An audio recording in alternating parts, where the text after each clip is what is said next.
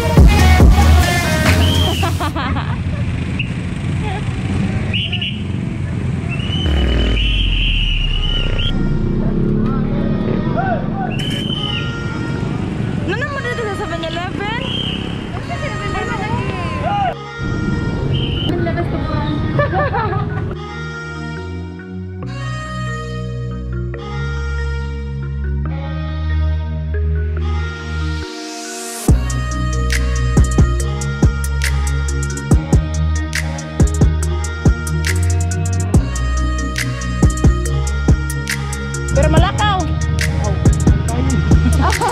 Okay, thank you.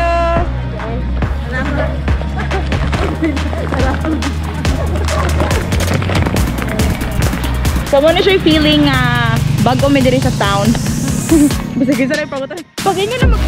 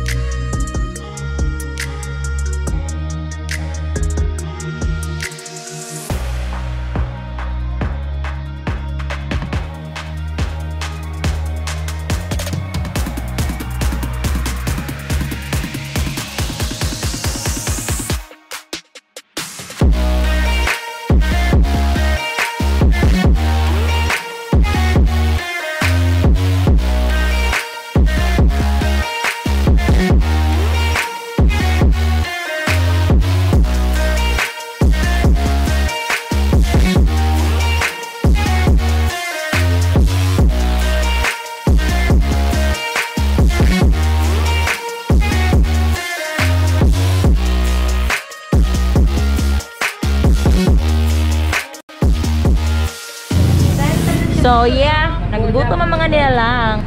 We are here at Tuburan Barbecue Station, Char.